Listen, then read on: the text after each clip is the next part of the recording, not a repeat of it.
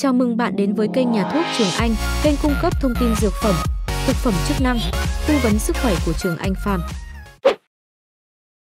Nội dung trong video này sẽ tìm hiểu về sản phẩm Cancamin do Ava Pharmaceutical sản xuất. Quý độc giả thân mến, để sử dụng thuốc an toàn và hiệu quả, hãy tuân thủ đúng theo chỉ định từ bác sĩ hoặc tìm hiểu hướng dẫn sử dụng an toàn từ dược sĩ. Không tự ý sử dụng thuốc hoặc sử dụng thuốc bị chống chỉ định, vì điều này có thể gây hại cho sức khỏe. Nếu như bạn quan tâm đến thông tin về Cancamin cũng như cách sử dụng sản phẩm thì hãy theo dõi hết video mà Trường Anh chia sẻ dưới đây nhé.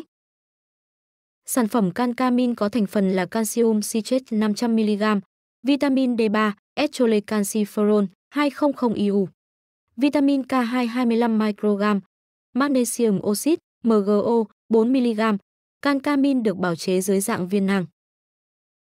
Cancamin mang lại cho người dùng công dụng bổ sung canxi, vitamin D3 và vitamin K2, MgO cho cơ thể, hỗ trợ xương răng chắc khỏe, phòng ngừa còi xương, giúp hệ xương và răng phát triển khỏe mạnh ở trẻ em, phòng ngừa loãng xương, giúp chắc khỏe xương cho người lớn. Sản phẩm dùng cho các trường hợp. Sản phẩm Cancamin được sử dụng bằng đường uống. Liều lượng của Cancamin tham khảo ý kiến của bác sĩ. Chống chỉ định khi sử dụng Cancamin, người mẫn cảm với bất kỳ thành phần nào của sản phẩm.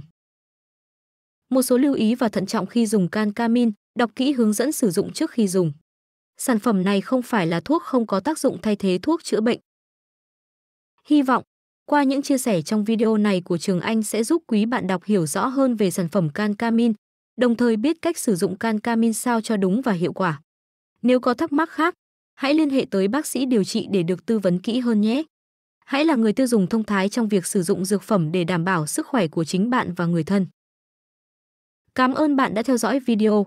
Nếu như bạn thấy video hay, có ích và để cập nhật thêm nhiều thông tin về các sản phẩm dược phẩm, mỹ phẩm cũng như các loại thuốc hoặc thực phẩm chức năng khác, vui lòng nhấn đăng ký và theo dõi kênh nhà thuốc Trường Anh của Trường Anh Farm.